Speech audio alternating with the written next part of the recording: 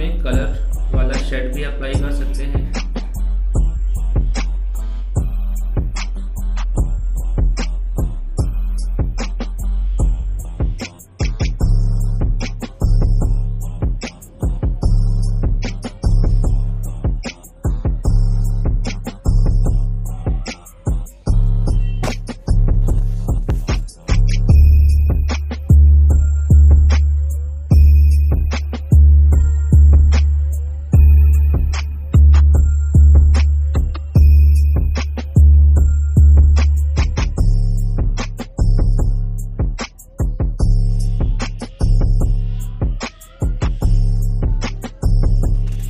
दूसरी लेयर लेंगे और ओनियन ऑप्शन पर क्लिक करेंगे।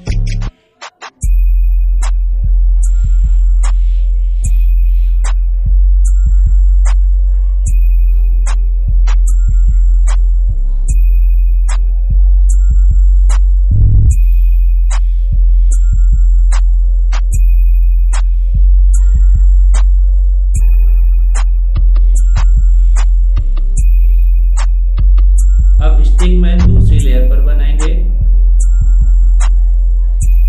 हम ब्रश का यूज़ कर सकते हैं टूल्स का यूज़ कर सकते हैं और एक स्टिक में बना सकते हैं।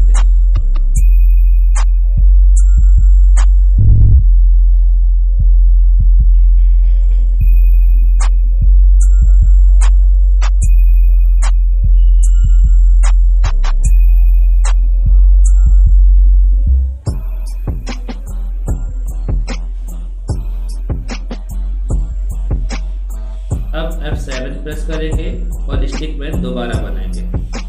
और इस प्रोसेस को बार बार रिपीट करेंगे। एफ़ सेवन स्टिक मैन बनाएँगे, फिर एफ़ सेवन फिर स्टिक